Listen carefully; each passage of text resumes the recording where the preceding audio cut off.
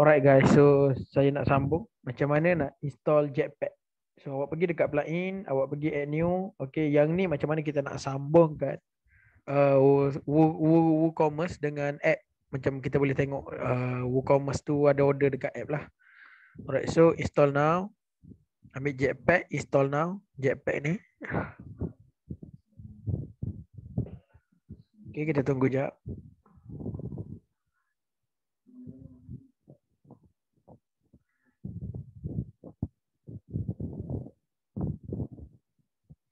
So dah ni tekan aktif.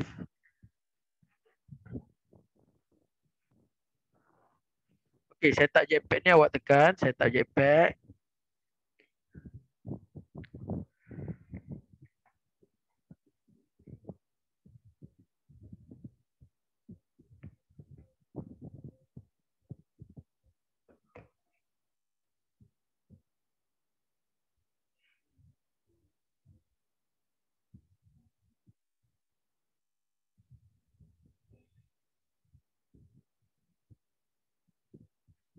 Okay, so yang ni kalau saya dah ada account, saya just tekan approve. Kalau tak ada, biasanya kalau yang baru dia akan macam ni lah.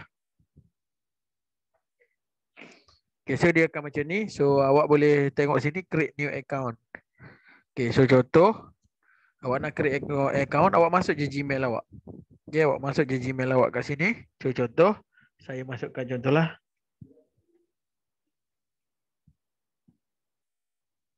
Ah, contoh macam ni. So kejap saya tengok.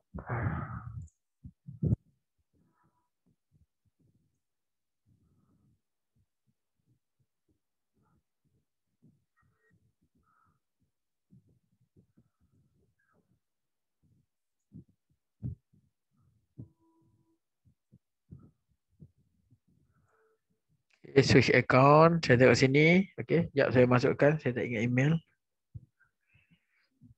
Alright. Kejap eh, saya pastikan email yang betul.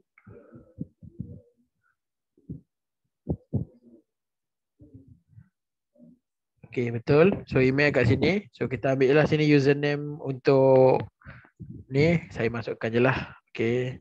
Him 1, 2, 3, 4.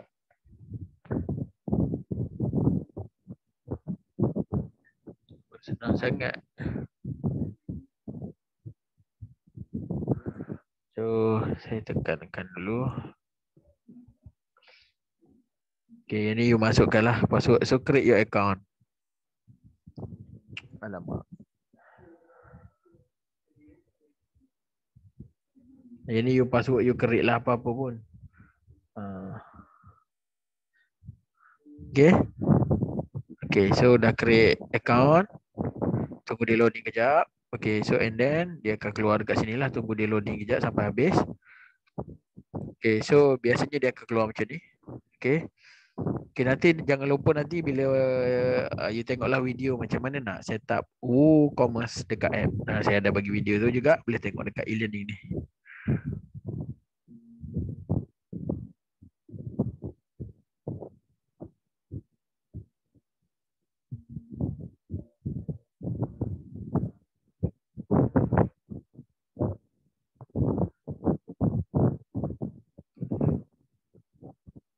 Okay, so dah keluar macam ni. So pergi back.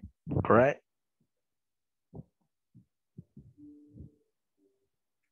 Okay, so dah pergi go back. Okay, so dah siap lah awak punya jetpack tadi set up. Okay, so itu cara nak set up jetpack. Okay.